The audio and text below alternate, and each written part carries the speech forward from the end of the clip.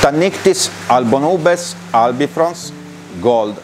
Ciao a tutti ragazzi, bentornati a questo nuovo video, bentornati sul canale. Mi raccomando, iscrivetevi per vedere questo ed altri video e non perderveli soprattutto. Per voi eh, non costa nulla l'iscrizione al canale, per noi invece eh, ci aiutate tantissimo, insomma.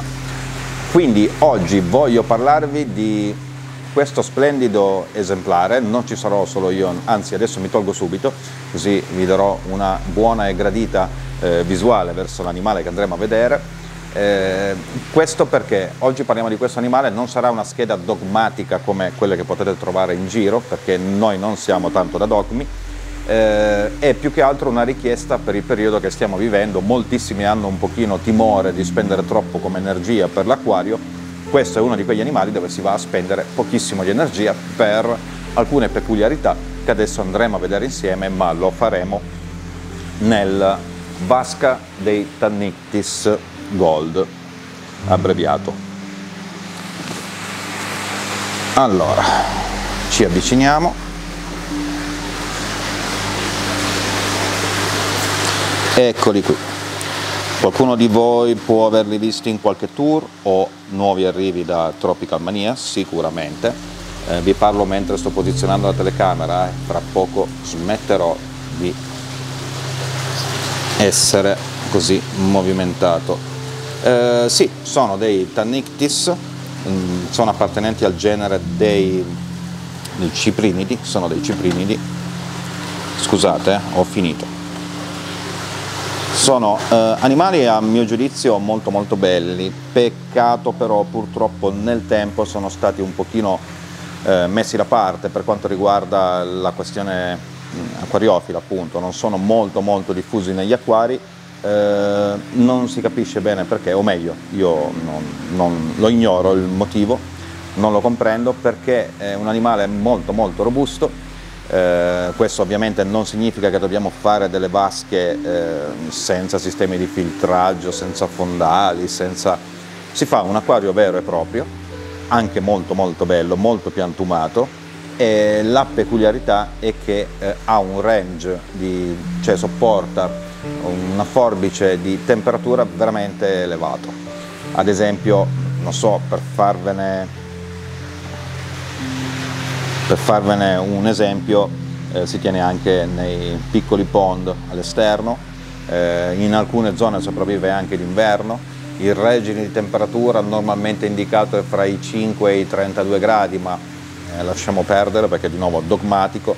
Io vi posso dire che li ho avuti in acquario, eh, ho seguito molte persone che eh, appunto hanno i tannictis negli anni, e vi posso dire che è un animale estremamente longevo perché di questa taglia sono pochi gli animali che riescono a sfiorare i 10 anni di vita, è molto molto molto robusto a livello di inquinanti e cose varie, molto pacifico, quindi è molto in tutto. Eh, questo, qui stiamo ammirando ovviamente la eh, selezione gold, poi ci sarebbe l'ancestrale del, degli albifrons, che abbiamo già visto anche quello in altri video. Eh, che dire altro di questo animale? Eh, peculiarità appunto è un ciprinide, eh, come dicevo prima anche eh, si può tenere anche in vasche di comunità con dei barbus eh, ciliegi ad esempio. Ovviamente eh, il range di temperatura che io vado a consigliare normalmente non è anche lì dogmatico perché se in casa abbiamo ad esempio 22 gradi perché abbiamo dei bambini piccoli o per altri motivi lui si adatterà benissimo anche ai 22 gradi ma se eh, appunto in acquario eh, non riusciamo a salire sopra i 16 gradi e 18 gradi eh, senza riscaldatore non sarà un problema, quindi vive tranquillamente a temperatura ambiente. Poi eh, un'altra cosa, quando siamo prossimi ai 18, 18, 20 gradi su quella soglia, eh, quando parliamo di animali di acqua fredda e penso che in futuro ne parleremo tanto, animali di acqua fredda da tenere in acquario, intendo, ehm, possiamo avere comunque un riscaldatore che ci faccia solo da paracadute, cioè in quegli ambienti dove si ricevono diversi sbalzi non è tanto importante la temperatura in sé, ma la costanza sulla temperatura o uno sbalzo magari prolungato nel tempo.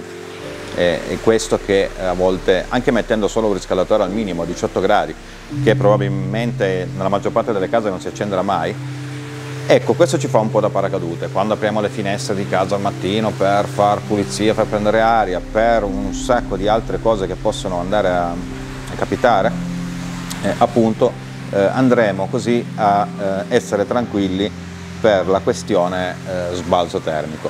Ovviamente eh, mi scriverete sotto nei commenti sicuro, eh, quindi può vivere senza riscaldatore? Sì, ovviamente, è solo un mio consiglio quello di inserire il riscaldatore, non per scaldare l'acqua però, solo per mantenerla costante, cioè praticamente o non si accende o se si accende è, veramente veramente limitato.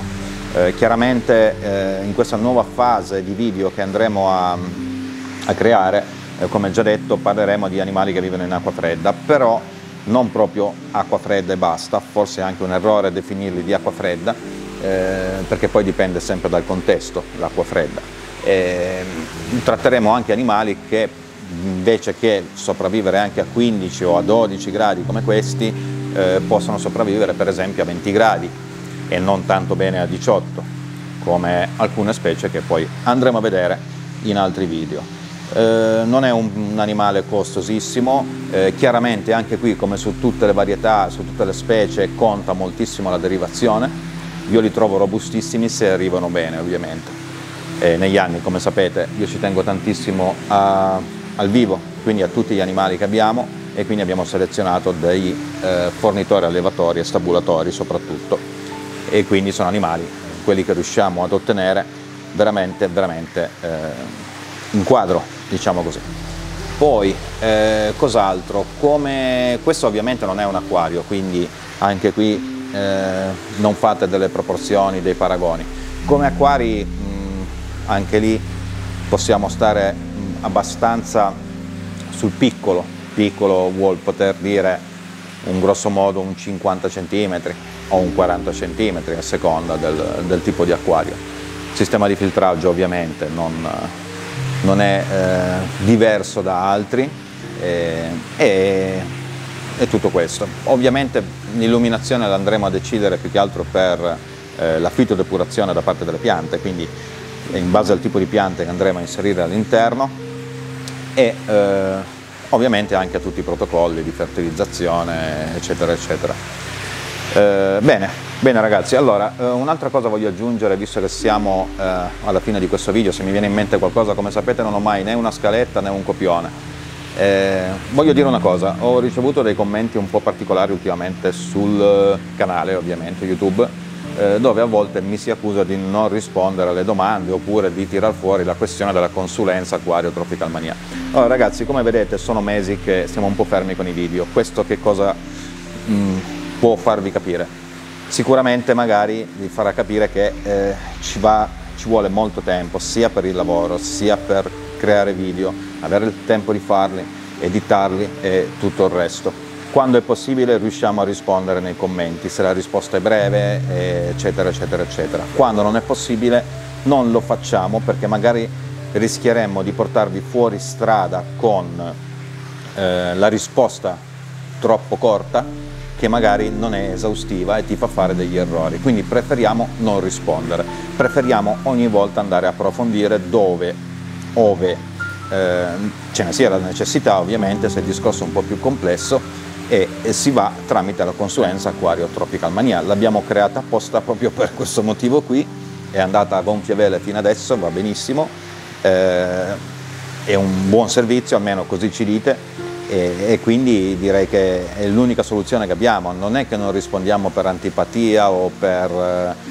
eh, eh cose di questo genere, quindi eh, siete, sono veramente pochissime le persone che hanno scritto cose di questo genere, però Potrei anche non dirlo, ma è solo per dare una spiegazione agli altri che ovviamente vedono dei commenti a volte che non stanno né in cielo né in terra, dove veniamo accusati di non fornire spiegazioni, di non rispondere alle domande.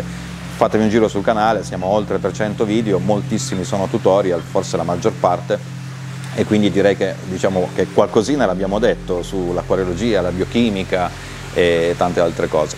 Poi Ovviamente ognuno cerca quello che, che crede più giusto per la propria esperienza.